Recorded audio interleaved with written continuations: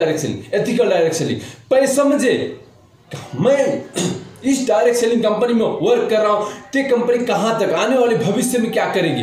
कैसे चल रही है? मैं इस डायरेक्ट सेलिंग में कर रहा हूँ। ये कर क्या रही है? वो पहले आप देखिए, आने वाले फ्यूचर में, आने वाले भविष्य में इसकी कहाँ तक ग्रो हो जाएगी? कैसे चढ़ेगी भविष्य के व्यवसाय है, सर। डायरेक्ट सेलिंग आने वाले यूथ का व्यवसाय है। सारा लोग आने वाले कुछ समय के बाद रोबोट्स आने लग जाएँगे। जॉब जॉब कर रहे हैं। इतने आप लोग जॉब जॉब जॉब जॉब चिल्ला रहे हैं। अभी आने वाले कुछ साल के बाद रोबोट्स आएँगे। चाइना में एक हॉस्पिटल, जेक मा की एक हॉस्पिटल है। हॉस्पिटल आप सर्च कर सकते हैं गूगल्स पे या यूट्यूब से भी देख सकते हैं। जेक मा के हॉस्पिटल, उस उस हॉस्पिटल में कुछ ही चुनिंदा स्टाफ है। बाकी सारे रोबोट्स वर्क करते हैं। तो ऐसे ना हो आने वाले कुछ समय में रोबोट्स आ जाए और सारे लोग बेरोजगार हो जाए। तो उन बेरोजगार को रोज़गार देने के लिए एक सबसे बेस्ट अपॉर्चुनिटी है direct selling direct selling best opportunity ये बार बार आप लोगों को सामने, आमने सामने मिलता होगा। डायरेक्ट सेलिंग डायरेक्ट सेलिंग ये जोड़ो, तू जोड़ो, वो जोड़ो। अरे, ये सब मुझे नहीं करता।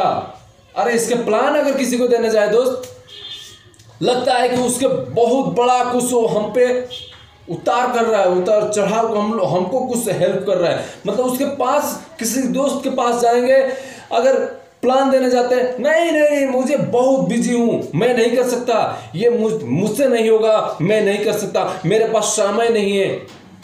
अरे, है कुछ नहीं, उनके पास है कुछ नहीं, लेकिन अपने आप को इतना बिज़ी बताएँगे, लगता है कि वो प्राइम मिनिस्टर लेकिन है कुछ भी नहीं, ज़ीरो में है। बात करेंगे लाखों के लिए।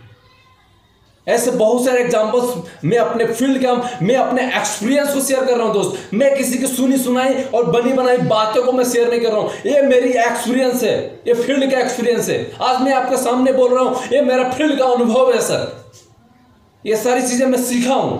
फ़ील्ड में गया हूँ, सीखा हूँ तो मैं आपके पास शेयर कर रहा हूँ। क्या आप भी सीखना चाहते हैं? क्या आप भी अपने डायरेक्शन में भविष्य बनाना चाहते हैं? क्या आप भी अपने भविष्य को अपने एक ऊंचाई पर पहुंचाना चाहते हैं बिल गेट्स कहते हैं गरीब में म, जन्म जन्म लिया है ये आपकी गुनाह नहीं लेकिन गरीबी में मर जाना ये आपकी गुनाह है।